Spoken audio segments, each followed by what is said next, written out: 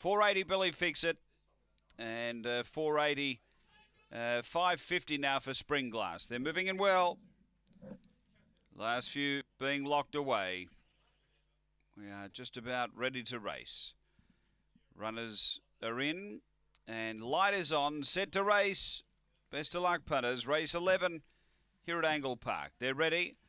On their way, Good line out. Aston Sigrid began well, has had some specking it on. Sweet Ella came out humming. Sweet Ella put a couple on them going to the first bend. Stayed right up the track, but clears away down the back by five. Doing the chasing, Alaska McBain. Then came Aston Sigrid. Next, Billy Fixit, Zipping Rocket, Dynamic Lee. Uh, then Hot Gallon and Spring Glass, but uh, Sweet Ella rolling along really well. Clear over Alaska McBain. The margin's out to about eight lengths. Then Aston Sigrid, but the last winner's going to bolt in. Sweet Ella. Another one for Lauren Harris. This one won it by 10. Second, Aston Sigrid. Third, Alaska McBain. Zipping Rocket fourth. And then behind those next, uh, we had Spring Glass from Hot Gallon. It was uh, back toward the tail end, 29.96. This has gapped them. Number seven, Sweet Ella. Another one for Lauren Harris tonight. That was uh, never in danger. Began like a bomb.